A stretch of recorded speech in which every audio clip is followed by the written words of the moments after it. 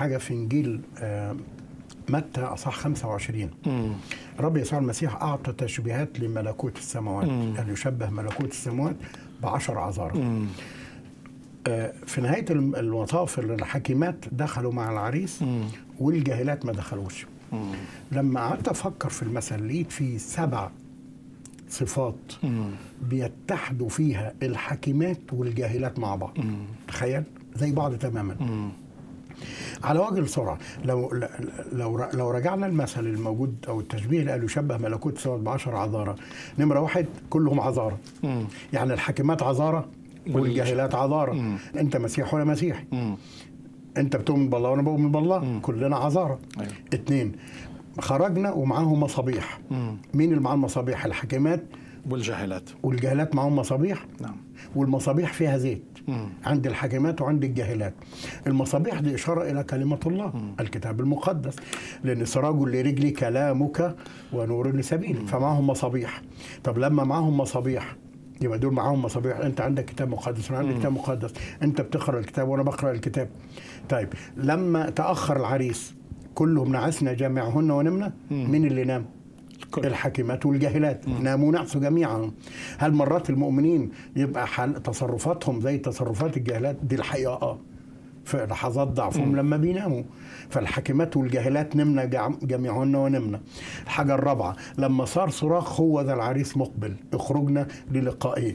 قامت جميع سمع العذارى كلهم سمعوا الصوت؟ سمعوا الصوت. الحاكمات سمعوا والجاهلات سمعوا. النهارده الرسالة اللي بيسمعها بيسمعها مؤمن وبيسمعها خاطئ. كله بيسمع كلمات الرب. سمعوا صوت صراخ العريس. هو ذا العريس مقبل. كلهم نهضوا وبدأوا يصلحوا المصابيح. كلهم بلا استثناء. بس كانت المفاجأة الحاجة الوحيدة أن الحكيمات أخذنا في آنيتهن زيتا ولم يأخذن الجاهلات في آنيتهن زيتا. الآنية هي المسؤولية الشخصية. عزيزي المشاهد النهاردة قبل ما نختم الحلقة حتى لو كنا بنتكلم عن كل ده أو اتصدمت وف... و... وأنت بقيت من نفسك مش عارف إنك في الإيمان ولا مش في الإيمان أنت مؤمن حقيقي ولا مؤمن مخدوع. الأمر هنا يتطلب إن لو الروح القدس جواك هيشهد ليك عن هذا الإيمان. نعم. لأن الروح نفسه يشهد لأرواحنا إن إحنا أولاد الله. فالنهاردة بدعوك إنك تقف وقفة صادقة مع نفسك وامتحن إيمانك. هل أنت في الإيمان؟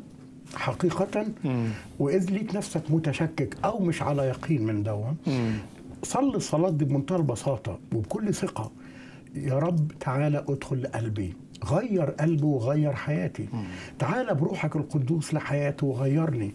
لأن الجاهلات لما ما أخدوش زيت وراحوا يخبطوا على العريس. قال لهم قد أغلق الباب. عزيزي المشاهد الباب للآن لم يغلق. لكن ما زالت الفرصة مفتوحة قدامك. الله حاطط الحلقة دي مش عشان نشاور عليك ونقول إيه نوع إيمانك مش هيفرق معانا. إحنا عايزين نقول لك تعالى إلى الإيمان الحقيقي. هذه فرصة رائعة بيقدمها الرب ليك بالروح القدس من خلال هذا البرنامج علشان ليكن نور في قلبك.